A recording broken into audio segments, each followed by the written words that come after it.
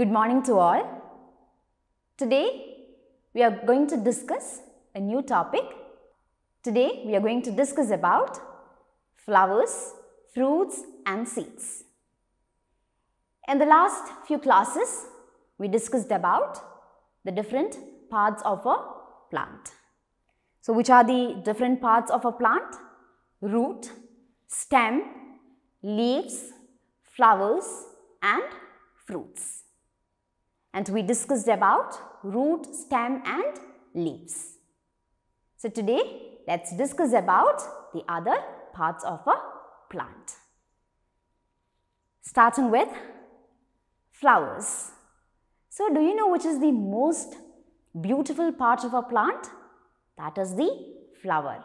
Right. It is the most beautiful part of a plant. You can see different flowers. Rose, jasmine, all these are examples for flowers. And they looks different in their colors, in their shape, in their size, etc. And what about their smell? Some have very good smell. So flower is the most beautiful part of a plant. And do you know which is the reproductive part of a plant? That is the flower. Flower is the reproductive part of a plant. The flower changes into fruits.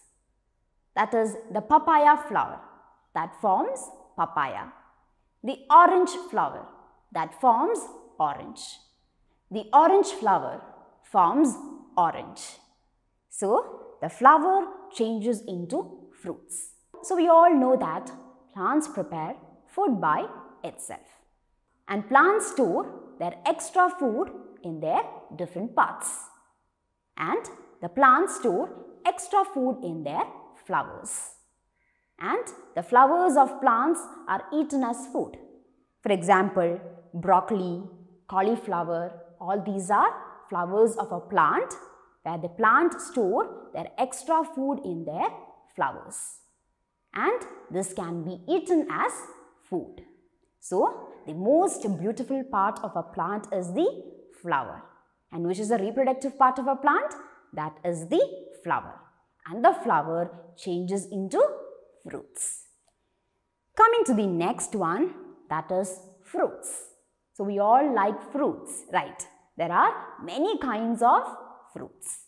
Apple, orange, banana, all these are examples for fruits.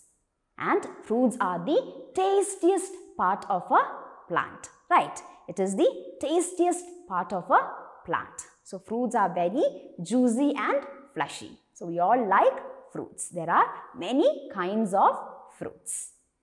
So, there are seeds that hide inside the fruits, right? Some fruits have one seed, whereas some fruits have many seeds.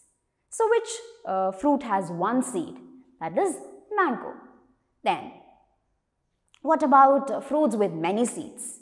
Papaya, watermelon, all these are examples for fruits with many seeds. So, which is the tastiest part of a plant?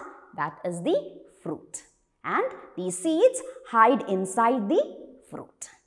So, what about seeds? As we discussed, some fruits have one seed, whereas some fruits have many seeds. The seeds hide inside the fruit. And most fruits have seeds. And seeds have a baby plant in it.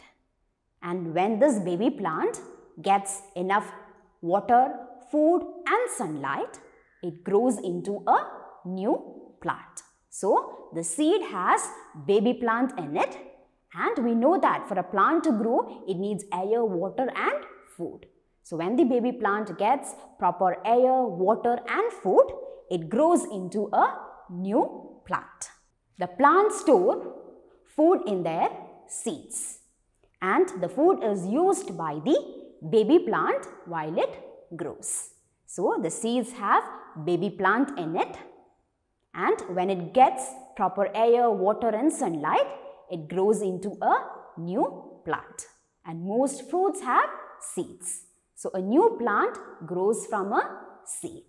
So, these are the different parts of a plant. So which are the different parts of a plant that we have discussed?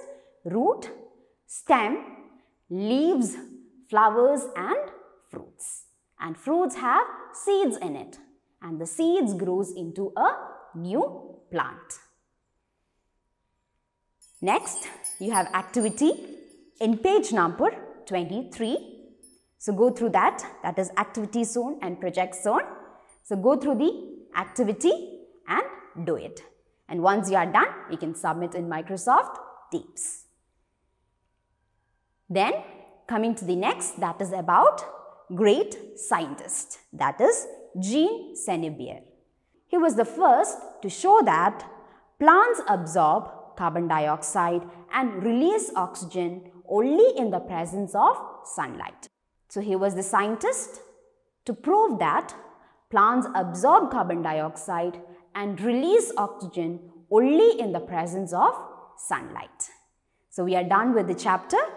So you can go through the exercise, complete your exercise. So we'll meet in the next class with a new chapter. Till then, thank you.